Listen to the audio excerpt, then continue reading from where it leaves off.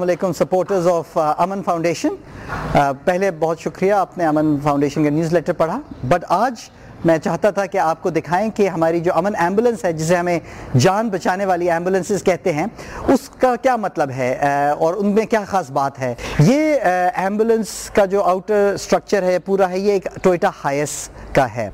उसमें हम एक फैब्रिकेशन का प्रोसेस करते हैं, जिसमें काफ़ी अरसा लगता है, काफ़ी मेहनत करनी पड़ती है, इसमें काफ़ी इन्वेस्टमेंट करनी पड़ती है। और आए मैं आपको दिखाता हूँ कि नॉर्मल हाइस की तरह नहीं है, इसमें इस तरह की कैबिनेट्स भी बनी हुई हैं, और ये इस ऊपर की तरफ़ कैबिनेट्स हैं और नीचे आप देख रहे हैं कि एक स्ट्रेचर है।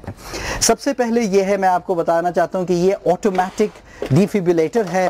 सो ये अगर आपकी छाती पे लगाते हैं ये और उसके बाद अगर इसको शॉक देना पड़े सो ये इलेक्ट्रॉनिकली खुद ये बटन दबा के आप एक पेशेंट को शॉक दे के उनके हार्ट को रिवाइव कर सकते हैं। तीसरी बड़ी चीज़ जो यहाँ पे है, वो है ये इक्विपमेंट जिसे कहते हैं पल्स ऑक्सीमीटर और ये आपकी उंगली पे लगा देते हैं जैसे ही पेशेंट आता है और उससे आपका हार्ट बीट और आपका ब्लड का स्टेट आपका बताया जाता है। यहाँ पे पूरा का पूरा ये ऑक्सीजन पैनल है। हमारे पास यहाँ पे ऑक्सीजन का पूरा एक सिलेंडर होता है। काफ़ी बार आपकी विंड पाइप में या आपकी ऑसोफेगस में ब्लॉकेज होता है। उसके लिए हमारे पास ये ऑटोमेटिक सक्शन मशीन है। स्पाइन बोर्ड है, जो जैसे टफ मटेरियल का बना हुआ है और उसके साथ एक हेड इमोबलाइजर है।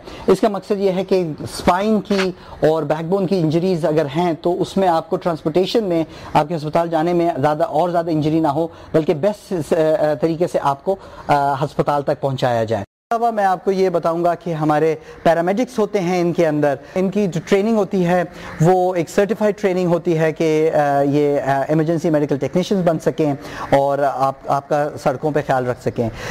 हमारा जो सफ़र है, वो पिछले आठ साल से चल रहा है। उस आठ साल में हम दस एंबुलेंस से बढ़ के अस्सी एंबुलेंस तक पहुँच गए हैं। मगर कराची की इस वक्त ज़रूरत है, वो तकरीबन दो सौ से ज़्यादा की है और इसलिए हम चाहते हैं और हमें ज़रूरत है आपकी ज़क़़त की, आपकी डोनेशन आपकी एहतियात की कि आप अमन एम्बुलेंसेस को सपोर्ट करें। ये मैसेज आप ना सिर्फ़ खुद अपने अपने ज़क़़त और एहतियात के ज़रिए, बल्कि अपने फैमिली मेंबर्स को, अपने रिश्तेदारों को भी आप इनक्रेज करें कि वो अमन एम्बुलेंसेस का इस रमज़ान में सपोर्ट